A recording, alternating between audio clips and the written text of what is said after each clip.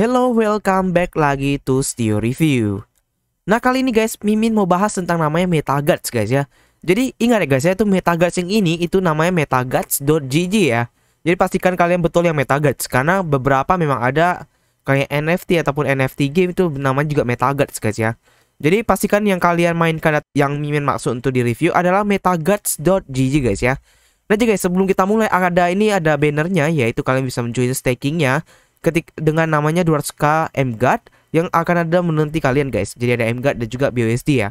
Jadi kalian bisa langsung stake sekarang juga dan itu sampai namanya Januari 16 2022. Nah, kalau kalian tertarik kalian bisa langsung ke websitenya, kalian klik aja langsung di sini stake now. Nah, kalau kalian nggak mau kalian close, close aja seperti biasa. Nah, langsung aja kita akan langsung bahas tentang MetaGuts. Nah, kalau kalian cari namanya dengan modalnya, kalian bisa langsung ke description. Kalian klik dengan tulisan modal ya guys ya. Jadi jangan kalian nggak klik tapi kalian ngomong nggak ada modalnya. Jadi mimin sangat sedih sih guys. Karena memang kalian nggak baca ataupun nggak lihat deskripsi ya. Karena deskripsi itu bagus banget. Mimin udah ada tulisan udah kasih segmen-segmennya semua. Nah langsung aja kita akan bahas. Jadi ada MetaGuards jadi ada new action dari RPG Metaverse Begins. Nah jadi MetaGuards ini merupakan next generation dari play to earn action dengan MMORPG ya guys ya. Kalian pasti udah tahu MMORPG ya kayak RO ya ROX gitu ya. Nah, jadi kalian bisa mendapatkan epic NFT loot dengan mengeksplor dungeon dan juga melawan mythical monster, guys. Jadi kalian bisa juga membawa teman Anda di metaverse dan juga kalian bisa mendapatkan earn dengan mendapatkan reward yang lebih, guys. Nah, jadi dari sini ada pertama kali ada Get My Hero dan juga ada Launch Up. Nah, kalau kalian klik Get My Hero, nanti akan ke sini, guys. Ada minting ya. Dan itu mintingnya, guys, itu menggunakan namanya BNB, guys ya. Jadi Mimi ulangi lagi. Kita akan langsung ke namanya ke modal. Jadi ada ke modalnya. Nah, jadi guys, untuk kalian ini jadi sini ada standarnya, jadi ada bintang 1 sampai bintang 6. Jadi ada reti-retinya juga bintang-bintangnya. Nah, jadi kalau kalian mau satu hero itu ada 0,1 ya. Jadi 0,1. Kalau kalian klik langsung ada terpotong dari pakai BNB ya, karena ini pakai BNB ya. Nah, kalau kalian pakai 10 ataupun minting 10 tambah satu hero gratis satu dan itu ada namanya dapatnya satu BNB. Nah, ada garansi 3 star hero juga guys ini ya. Nah, jadi guys, ini karena Mimin agak telat dari reviewnya, seharusnya guys itu sebelumnya ada promo ya nanti ada Mimin kasih lihat. Jadi Mimin ada promo itu nggak salah. Kalian bisa gacha 0,5 BNB 0,5 BNB nah jadi 0,5 BNB itu kalian gacha ada kemungkinan dapatnya bintang 3 sampai ke bintang 6 nah kebetulan guys Mimin namanya gacha dan itu dapat bintang 6 guys. Gila kan? Tapi setelah itu Mimin gacha yang 0,1 ya dua kali ya sampas juga guys. Dapatnya bintang 1 sama satu lagi nggak salah bintang 4 ya lumayan. Nah kalian bisa lihat di inventory ini.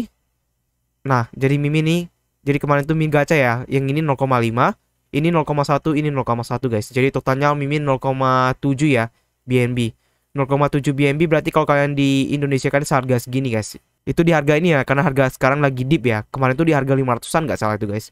Ya paling nggak beda jauh lah. 0,7 BNB modalnya ingat ya. Jadi jangan bilang Mimin nggak kasih tahu lagi, awas dulu. Nah jadi udah ya, udah di sini kita akan ke MetaGuards lagi. Kita balik lagi ya. Nah jadi di sini kalian bisa nanti akan ada juga NFT staking ya guys dan juga akan ada di bulan ini ataupun di bulan Januari akan ada namanya gamenya guys. Itu untuk creation engine-nya. Jadi beberapa mungkin Mimin akan update nantinya untuk namanya gamenya. Nah langsung aja kita bahas lagi. Nah jadi guys kalian bisa menjoin namanya di telegram. Ada juga di namanya di discordnya juga. Nah guys jadi ada beberapa yang membuat MetaGuards ini sangat menarik ya. Jadi yang pertama ada juga investornya ini ada Has ada Mr. Beast ya. Beneran Mr. Beast yang itu guys yang di YouTube itu ya. Ada POM Investment ada Box Mining dan juga ABV Nah, kalau launchpadnya itu ada GameFi dan Maker dan juga ini semua ya, ada Dexia, ada ini semua. Nah, jadi kalian bisa melawan dari beberapa epic dungeon dan mendapatkan epic lootnya. Nah, jadi ada game trailer ya, seperti yang tadi Mimin kasih lihat di awal. Jadi kalian bisa memin juga guys, itu guard karakter NFT ya. Jadi di sekarang sih masih ada demigod sama human guys. Nah, ini ada gambar-gambarnya karena dia 8 ya guys ya. Pixel-pixel gitu.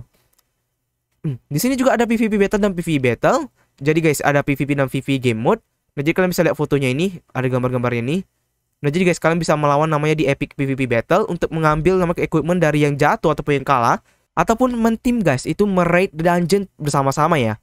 Apa pun mereka kalian untuk bertanding ataupun malah bacok-bacokan terserah anda sih guys. Bisa ada dungeon loot.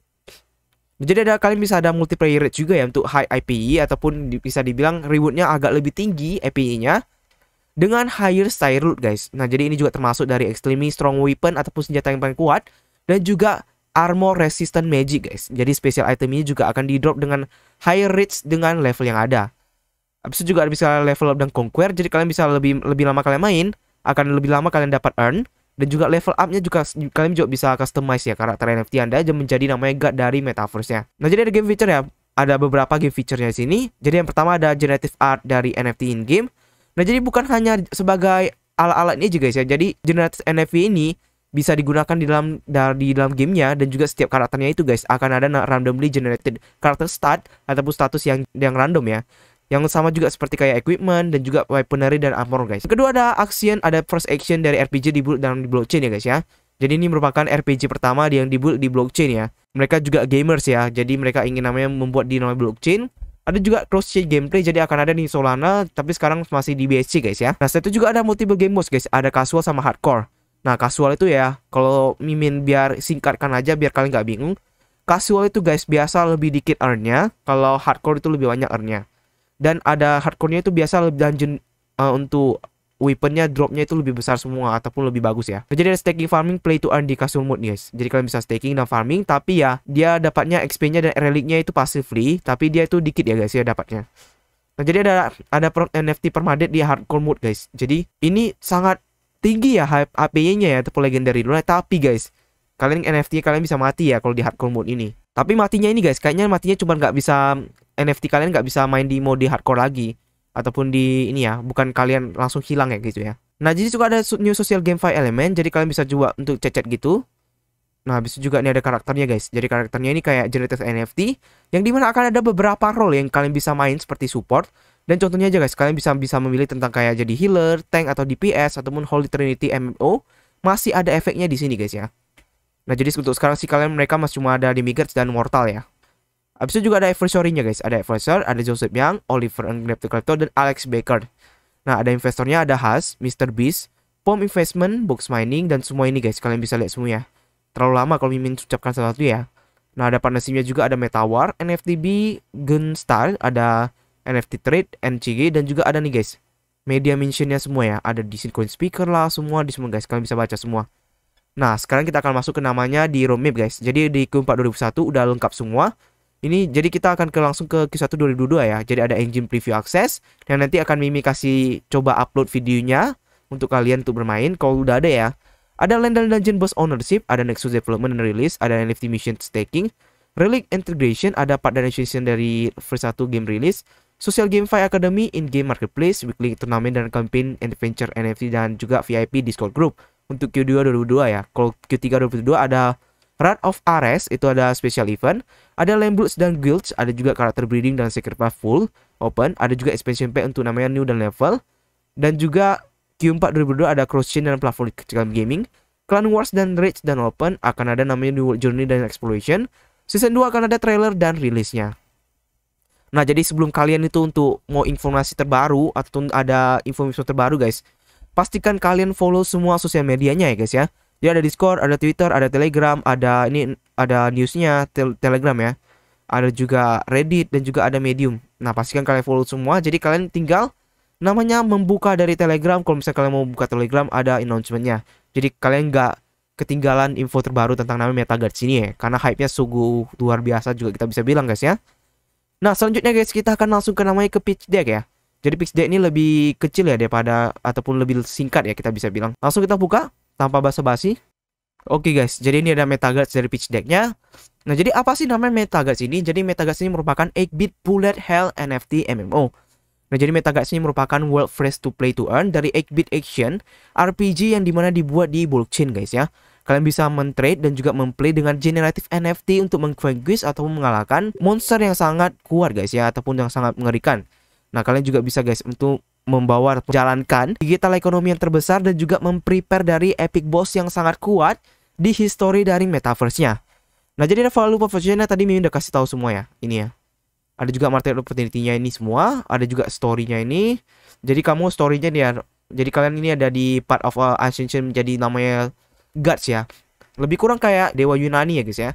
Jadi kalian bisa bermain kayak Achilles, Hercules dan demigods lainnya. Kalau kalian suka kayak mitologi-mitologi, Mungkin ini NFT yang cocok buat kalian juga guys. Ada generative art di gamenya. Jadi generative art ini akan ada launch yang digunakan dalam karakter dalam in gamenya guys ya. Jadi ini bukan hanya untuk hanya dari avatar dan PVP.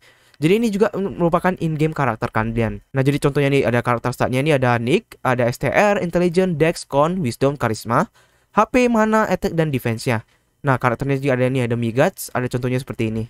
Nah, di sini juga ada in-game NFT items ya, ada equipment, consumable, legendary loot dan banyak lagi guys, masih banyak ya. Nah, jadi ada crafting dan juga upgrades-nya. Jadi ada crafting ini ataupun loot NFT akan bisa digabung dengan karakter NFT dengan menggunakan proses bonding ya. Jadi equipment was itu ataupun ada akan ada namanya 4 slot. Jadi satu untuk weapon, satu untuk armor dan juga duanya untuk general slot. Nah, jadi kalian bisa juga menghabiskan XP untuk mengcustomize dari upgrade karakter kalian. Dan juga kalian bisa menghabiskan dari Air Relic Token untuk memforge new weapon dan armornya. Dan ketika kamu bisa memfollow recipe-nya, kalian bisa juga temukan dari item crafting. Dan juga akan ada special item yang di mana guys, itu merupakan Resurrection Stone ya. Jadi kalian bisa hidupkan kalian lagi dari kematian.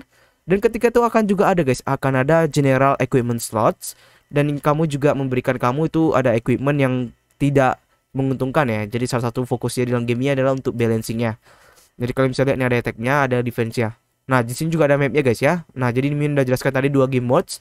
Ada casual mode dan juga hard game mode. Nah, jadi kalau casual mode ini lebih kayak ke stake dan autoplay. Kalian bisa dapat XP dan relic pasif. Tapi akan lebih lambat ya untuk leveling. Nah, jadi kalau ini hardcore ya, betul-betul hardcore kah. Nah, jadi ada step preview guys sih kayaknya.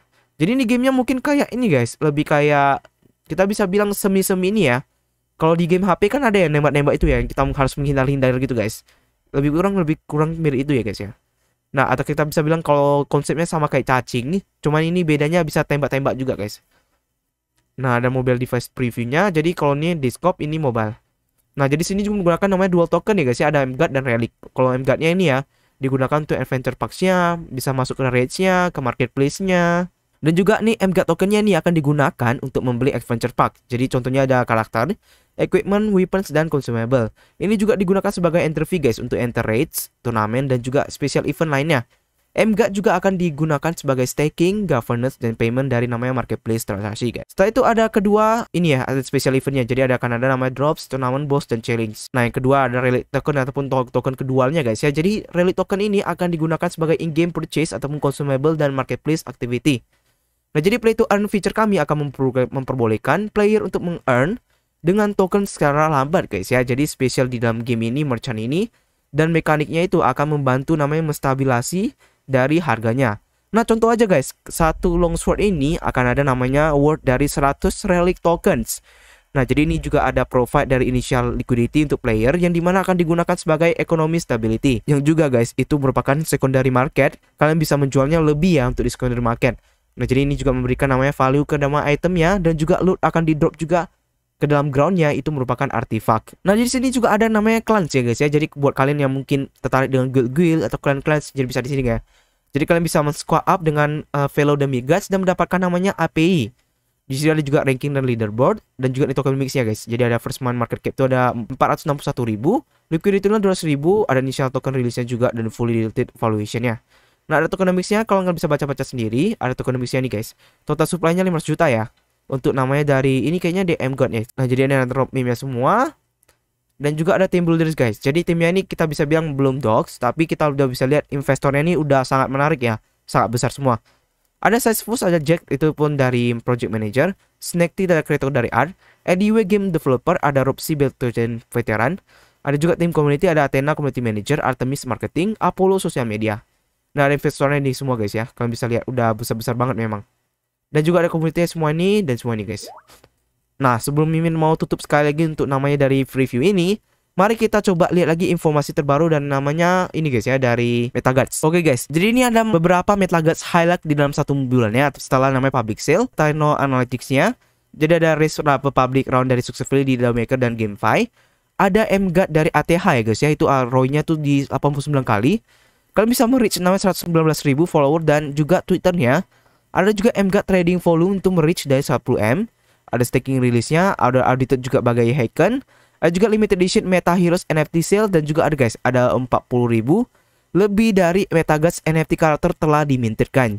Nah, jadi juga ada namanya buyback dari MGuard part 1 telah diberhasilkan dan juga ada MGuard guys itu dari topmost dari use smart contract akan ada 1000 untuk big chain walletnya. Nah, jadi Alex Baker juga mengintroduce namanya MetaGuts di YouTube-nya kalau kalian belum tahu siapa Alex Baker, kalian bisa langsung ke YouTube aja. Dan Metaverse dan Metagrass itu merupakan cross taking out guys. Ini untuk namanya achievement achievement yang udah di hide lah guys selama satu bulan ya setelah namanya public sale guys. Nah guys, jadi Mimin akan langsung ke masuk ke namanya Gimana sih kalian membeli namanya pancake swap ya Untuk MGATS ini Jadi gampang sekali ya Pertama guys, kalian harus namanya melihat dulu Dari Puko ini ya guys ya Ataupun melihat dari kontrak addressnya Ataupun untuk namanya chartnya Nah kalian klik aja di sini guys Kalian bisa pancake swap Jadi di Desember 16 tadi ya Udah rilis satu bulan yang lalu Kalian langsung Nanti akan kasih juga lihat dari ininya Kontraknya Nah kalau udah guys kalian masukkan Kalian cek ini MetaGuard sini, MetaGuard sini. Nah, jadi tuh harganya guys, itu MetaGuard sekarang tuh 1 USD guys ya. Jadi sebelumnya itu 0,6 naik ke 1 USD guys. Sekarang masih bertahan di 1 USD. Ada looppoolnya itu 19.000, ada juga ini guys USD. Jadi ada market capnya tuh 500 juta guys ya. Nah, ini lagi dam. Jadi ini untuk namanya MetaGuard guys ya, untuk naik. Jadi kalau belinya kalian gampang sekali, kalian tinggal ke sini. Kalian tinggal masukkan bisa contohnya aja kalau mau beli 100 kalian tinggal ke balance kalian swap nanti akan ada metamasknya udah selesai udah selesai nah jangan lupa guys untuk import tokennya jadi import tokennya gampang sekali juga sangat gampang sekali kalian tinggal butuh namanya kalian tinggal ini metamask kalian tekan aset kalian tekan import token masukkan metagats udah selesai guys udah udah deh tapi kalau untuk nama mintingnya guys itu menggunakan uh, eh, BNB guys ya nah jadi guys gitu aja untuk namanya review dari metagats Gimana sih menurut kalian? Jadi untuk MetaGuards ini investornya sangat kuat ya kita bisa bilang. Ada juga namanya Alex Baker udah join namanya di MetaGuards sebagai advisernya juga. Dan juga udah ada guys itu namanya Mr. Beast ya. Betul-betul Mr. Beast ya dari YouTube itu ya Mr. Beast ya yang kayak-kayak itu guys. Untuk gameplaynya sendiri juga sangat menarik yaitu kayak ya kayak Worm. Jadi ada dua juga metodenya yaitu ada casual dan juga hardcore-nya guys. Apalagi dengan satu bulan dengan pencapaiannya setelah public sale itu sangat bagus ya guys ya. Jadi gimana sih menurut kalian tentang MetaGuards? Jadi kalian bisa coba komen di bawah ini. Jangan lupa untuk Dior. Sampai jumpa lagi di konten berikutnya. Steel Reviews pamit dulu. Bye bye.